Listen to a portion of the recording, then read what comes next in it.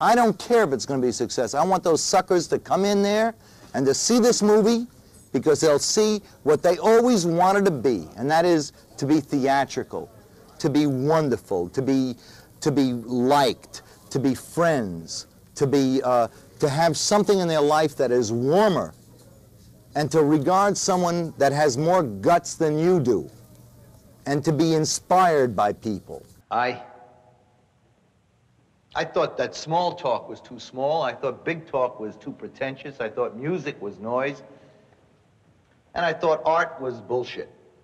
That's what I thought. Art meaning that we will enjoy ourselves and express ourselves freely. You don't care about anything, do you? You don't care about personal relationships, love, sex, affection.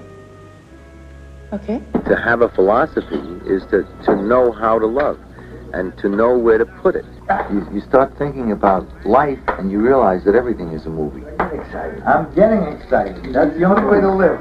In the long run, you lose. Bye. Everything that you see is a movie. Only when it gets to the screen, it never is. I am ignorant, but I have feelings. Nobody says you don't. I'm not a dead man like all the rest of the people that, that, that believe that everything that benefits them is right. Look, I, I'm not kidding you, around. I do not want you to go to some guy that doesn't love you. I love you and I want you to stay here and I want you to stay here forever. I'm taking care of the animals, I'm taking care of everything.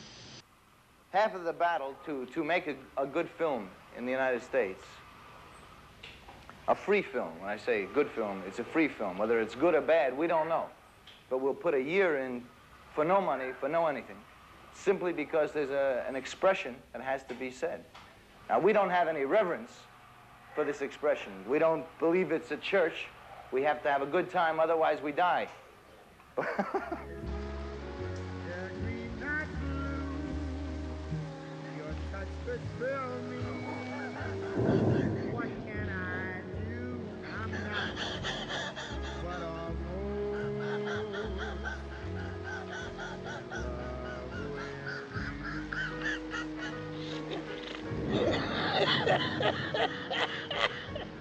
Who